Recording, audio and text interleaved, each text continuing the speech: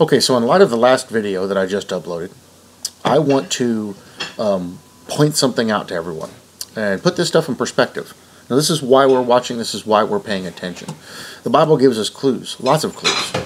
In this particular video, I'm going to cover three instances, three shadows of the rapture of the church.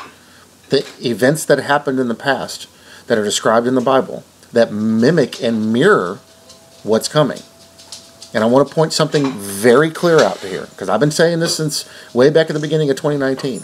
That I always had the feeling that we were going to have, we were going to know when it was going to happen. Didn't know how, didn't know, you know, what was going to unfold, but I had a feeling it was going to happen. We're going to start in Genesis 7 1 with Noah and the ark. So we go back to Genesis 6. Starting in verse 9 is Noah and the flood. And you see a big description here of God telling him everything he's going to do. The very last verse in Genesis 6, it's verse 22. Thus Noah did according to all that God commanded him, so he did. He was commanded to build a boat, he was commanded to preach, he was commanded to get ready and gather all the animals and everything. Noah did it. Okay, God, I got you. I'm on it.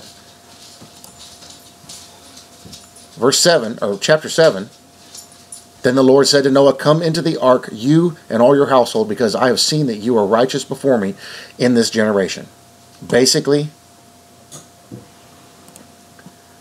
basically, um, Noah fulfilled his ministry. Now, we all have ministries. Noah fulfilled his ministry. He did what he was commanded to do. Simple. He believed. Simple. He trusted God. Simple. He tells him, take all the animals. Then he says, uh, keep them alive. In verse 4, Genesis 7 4, he says, For after seven more days I will cause it to rain on the earth 40 days and 40 nights, and I will destroy the face of the earth and all the living things I have made. Noah and his family, who were on the ark with all them animals, because God sealed the door. It was on the ark, knew when this was going to happen. He told them, seven more days, that's it. Everything's getting taken out, and y'all are going up. Done deal. He knew. He was known. He was told what was going to happen. And you go read the rest of Genesis 7, you see all the detail that was in They knew what was going to happen. They knew when it was going to happen. There was no doubt in their mind. When Lot was told to leave uh, Sodom and Gomorrah. So it's Genesis 19. God rescues Lot. Now the two angels, verse 1 in Genesis 19, now the two angels came to Sodom in the evening, and Lot was sitting in the gate of Sodom. When Lot saw them, he rose to meet them, and he bowed himself with his face toward the ground. Verse 2 And he said, Hear now, my lords, please turn into your servant's house and spend the night, and wash your feet. Then you may rise early and go on your way. And they said, No, but we will spend the night in the open square. Now, you guys remember some of the stuff I shared with you before? They found written decrees uh, scrolls where they, the the mayor or whatever, the ruler of that particular area, uh, commanded them to put beds out in the square so they could rape people that came in from other other towns. That's how depraved they were. But he insisted strongly, so they turned into him and entered his house. Then he made them a feast, and baked unleavened bread, and they ate. Those people don't realize a Lot did them a huge favor. But just prolonged the inevitable anyway. Verse 4 Now before they lay down, the men of the city, the men of Sodom, both old and young, all the people from every quarter surrounded the house. All the people.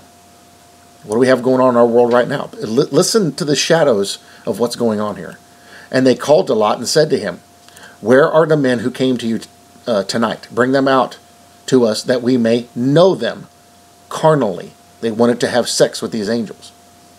That was the decree that was put out. Strangers come to the town. You get introduced to the to the area. That was their thing. That's what they knew of these places. There's a whole lot of this mess going on. Pretty grotesque. So Lot went out to them through the doorway, shut the door behind him, and said, Please, my brethren, do not do so wickedly. See now, I have two daughters who have not known a man. Please let me bring them out to you, and you may do to them as you wish. Only do nothing to these men, since uh, this is the reason they have come under the shadow of my roof.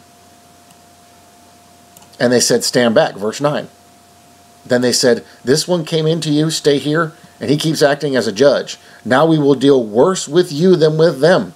So they pressed hard against the man Lot and came near to break down the door. Does this sound familiar to anybody?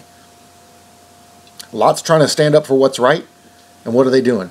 Attacking him. He called them brethren. It's attacking them. A whole lot of people doing videos ought to, ought to make ought to make you stop and think for a minute. But the men reached out their hands and pulled Lot into the house with them and shut the door. Verse 11 And they struck the men who were at the doorway of the house with blindness, both small and great, so that they became weary trying to find the door. Then the men said to Lot, Have you anyone else here? Son in law, sons, daughters, whoever you have in the city, take them out of this place. Notice the exclamation point. They're like, You need to leave now. Verse 13 For we will destroy this place because the outcry came against the outcry against them has grown great before the face of the Lord, and the Lord has sent us to destroy it. So Lot went out and spoke to his son and his sons-in-law, who had married his daughters, and said, Get up, get out of this place, for the Lord will destroy the city. But to his sons-in-laws he seemed to be joking. Now Lot's warning them, hey, y'all need to pay attention. And he's warning relatives. These were his sons-in-laws that had married his daughters and they're blowing him off. Does this sound familiar to anybody? Lots, lots going through his version of what we're going through right now. Us on here trying to sound the alarm and warn people to be ready. Verse 15 When the morning dawned, the angels urged Lot to hurry, saying, Arise, take your wife and your two daughters who are here, lest you be consumed in the punishment of this city.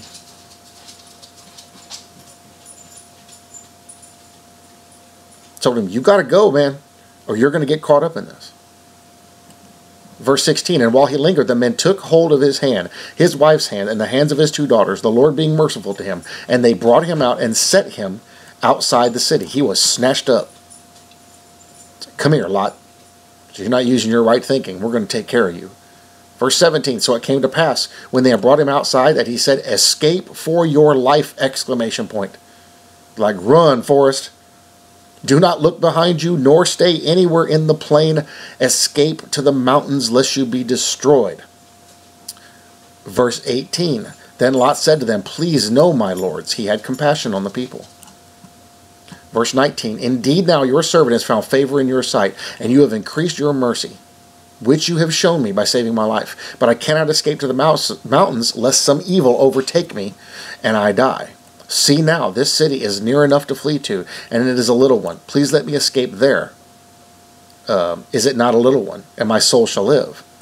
And he said to him, See, I have favored you concerning this thing also, in that I will not overthrow this city for which you have spoken. Hurry, escape there, for I cannot do anything until you arrive there. Therefore, the name of the city was called Zoar. They've since found the city of Zoar. He says, Hurry, escape therefore, I cannot do anything until you arrive there. It wasn't until Lot and his daughters and his wife were safe. Of course, the wife did, was idiot. It wasn't until they were safe that they destroyed everything. He was caught up to Zoar, another city.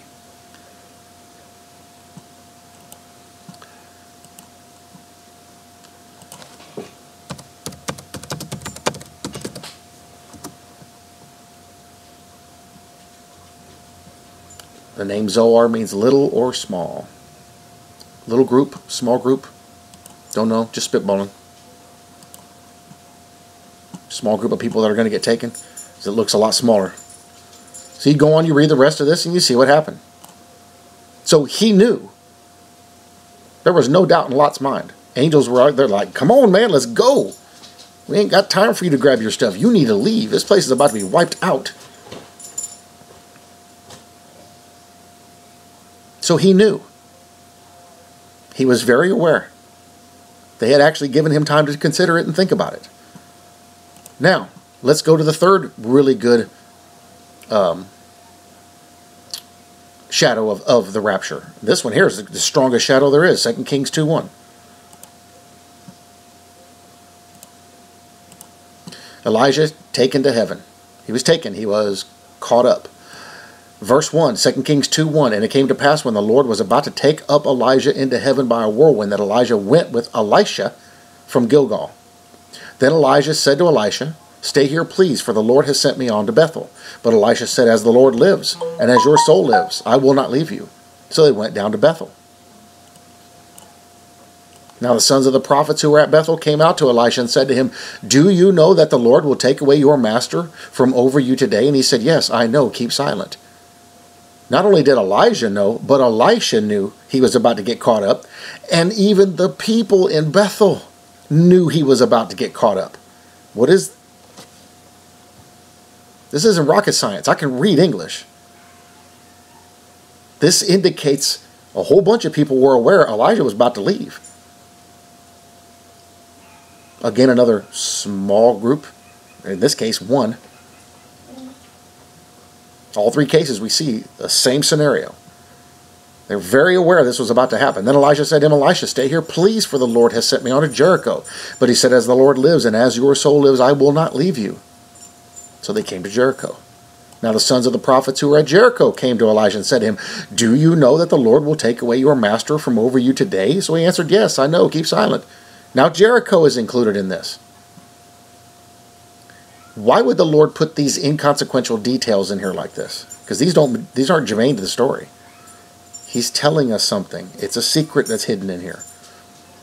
Then Elijah said to him, Stay here, please, for the Lord has sent me to Jordan. But he says, The Lord lives, and as your soul lives, I will not leave you. So the two of them went on. And fifty men of the sons of the prophets went and stood facing them at a distance, while the two of them stood by the Jordan. Now they knew. So it wasn't like this was a secret. In Lot's case, wasn't a secret. In Noah's case, it wasn't a secret. Verse 8 Now Elijah took his mantle, rolled it up, and struck the water, and it was divided this way and that, so that the two of them crossed over dry ground. That sound familiar to anybody? God puts this stuff in here for a reason. Verse 9 And so it was, when they had crossed over, that Elijah said to Elisha, Ask, what may I do for you before I am taken away from you? Elisha said, Please let a double portion of your spirit be upon me. Spirit of Elijah? John the Baptist got that. Verse 10 So he said, You have asked a hard thing, nevertheless. If you see me when I am taken from you, it shall be so for you. But if not, it shall not be so. Then it happened, as they continued on and talked, suddenly a chariot of fire appeared with horses of fire. Suddenly, in an instant, blink of an eye.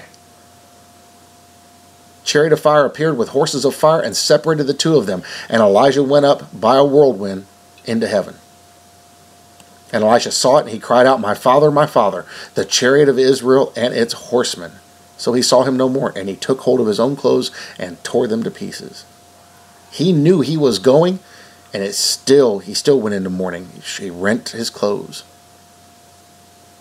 And man shall return to his eternal home, and the mourners will enter the streets. Ecclesiastes 12.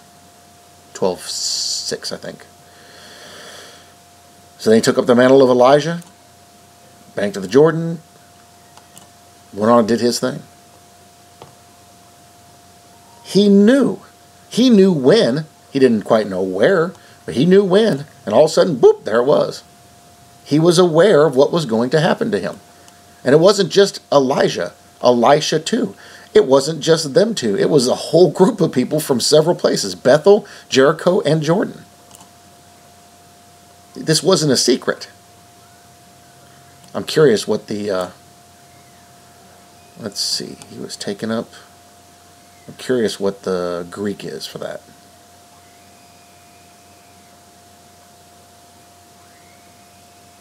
Went up, he went up. Verse 11. Let's go look in the Greek.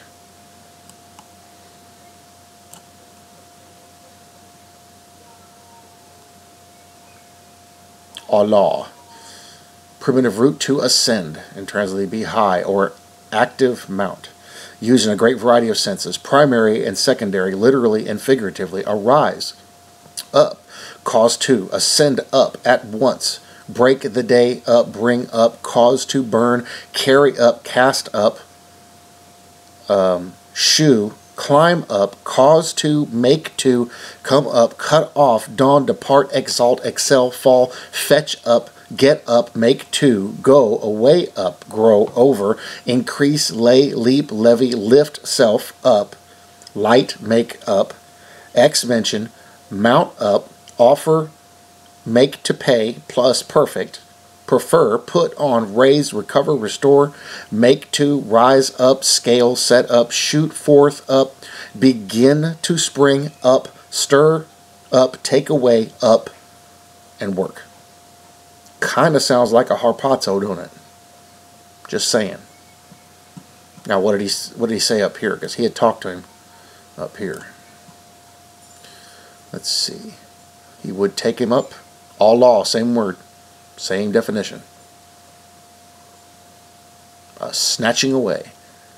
See, a lot of times we see in the Old Testament a different Greek word is used than what in the New Testament. Yet the definitions are very similar. This indicates a forceful removal. You read all those definitions, it, it indicates a forceful removal, a forceful departure. You go look at harpazo, same thing. In fact, let's go look at harpazo before we end here. Caught up, harpazo, derivative of G138 to seize in various applications, catch, away, up, pluck, pull, take by force. Several of those words are used in alah's definition. So we're talking about the same thing here, aren't we? In all three of those instances, those guys knew what was about to happen to them. They were very aware, and it got right up to the point when it was about to happen. Even better, something that we're seeing right now Exodus 12. These guys, I believe they went up out of Egypt. So, do not eat it. Tenth plague, and here's the Exodus. Let's see.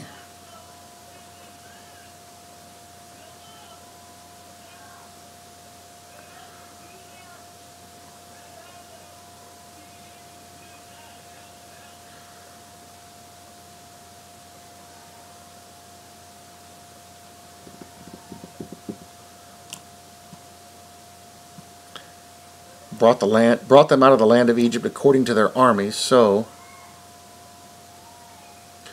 bring them out. Exodus 12:42. Let's see what this says.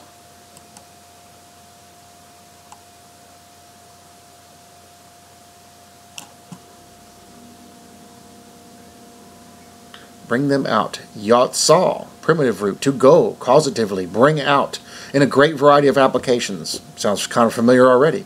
Literally or figuratively, direct or proximate, after, appear, assuredly, bear out, begotten, break out, bring forth, out, up, carry out, come abroad, out, thereat with. You get the point. I don't need to read the whole thing. It's all the same definition. So here again, we see another version of a harpazo.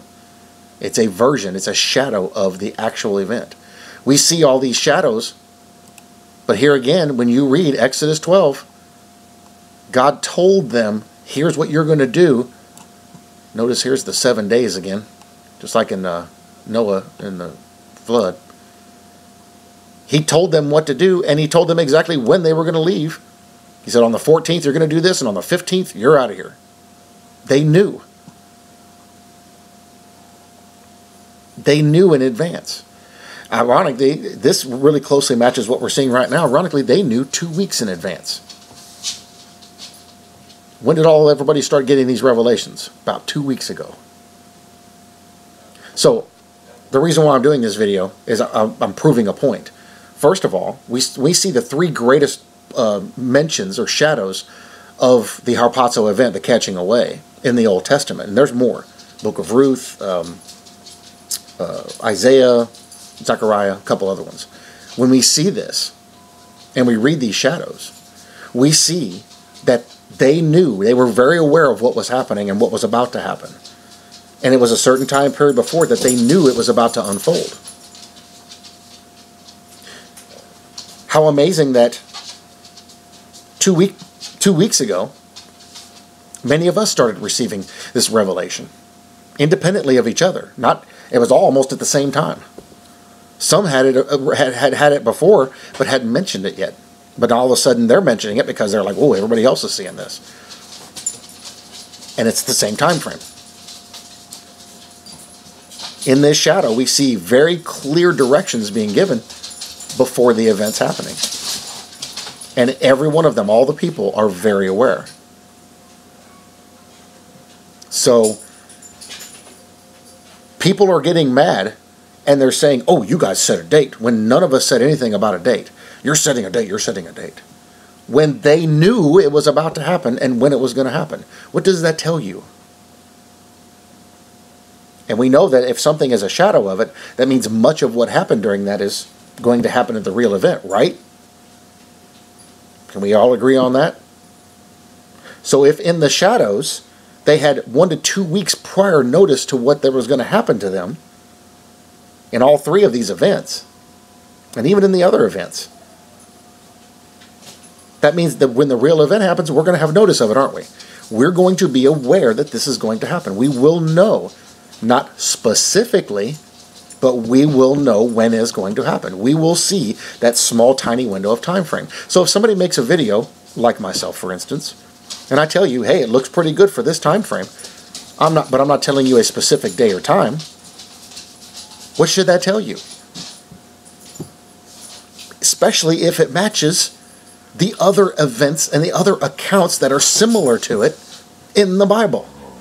So instead of complaining and griping because you don't want to get offended or you'll get your feelings hurt, maybe you ought to start paying attention. Maybe you need to be reading the Bible and studying like the rest of us are and catch up. Because when I read these things, these four events that I talked about, when I read these, I see very clear indicators shadows of the main event, of what's going to happen. God has given us this for a reason. You ever read through here and go, why, did, why, did, why is that in the Bible? Because that doesn't mean anything to anything. And then all of a sudden, boop, now it means something. The book of Ruth, perfect example. People just in the last 15 years have started to realize the book of Ruth tells the entire story of the whole Bible, beginning to end. It's all in the book of Ruth. And they always wondered, why is the book of Ruth in there? Now we know why. God doesn't do this stuff by accident, He does it on purpose. So when we know that, and we know the Bible is the authority, and we read this in here, hmm, I might need to pay attention to this. This means something. And in almost every one of these instances, instances, they went out at night. Almost every one of them. It was either twilight or it was even, or early morning, one of the two. What does that tell you? So if you're not willing to go do the work, if you're not willing to go do the studies, you have no business and no right to tell anyone else who is doing it that they're wrong. Because, see, I've gone and done the research. Wackadoodle Samoan has done the research. Tim Henderson has done the research. Watchwoman 65 has done the research. Diamond Dustification has done the research. And many, many others. We're in these scriptures, we're digging them, and we're being led to this stuff. What does that tell you? How funny is it though that the same thing that happened to them, those guys who had that warning and were trying to share it with everybody and warn them, the same thing that happened to them is happening to us. How how amazing is that? Talk about looking in a mirror.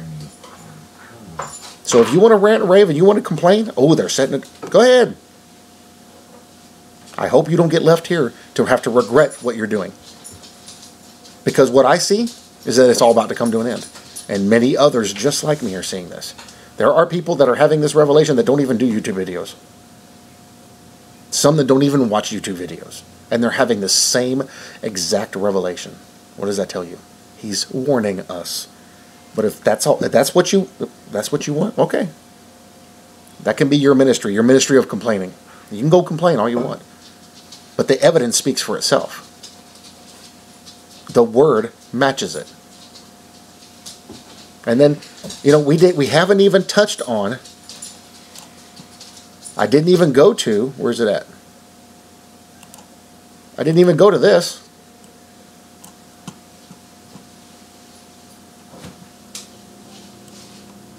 For man goes to his eternal home and the mourners go out in the streets. If you go read Ecclesiastes 12, verses 1 through 6, tell me that is not talking about what we're doing right now and what's happening. And then it says rapture. Is this not another warning letting us know? Just saying, guys.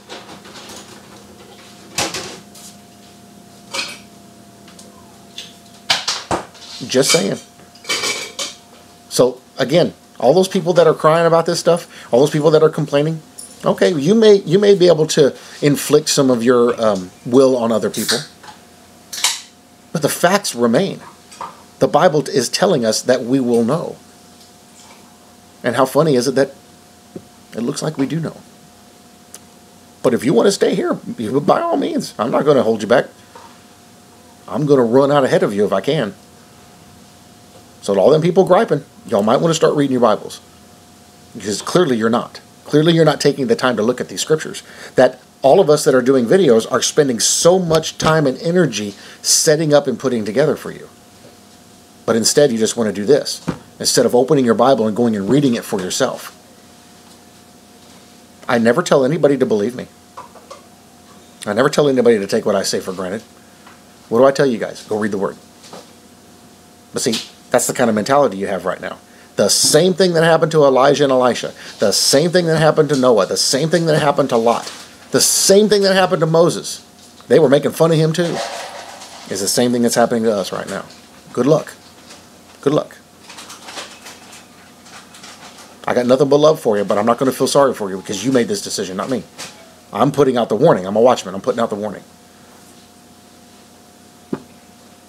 I hope you come to your senses.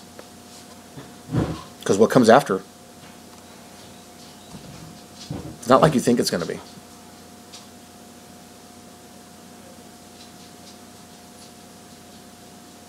Y'all better figure this out. Or it's not going to end well for you. Just saying. You call yourself a Christian, why don't you believe what the Bible says? I do.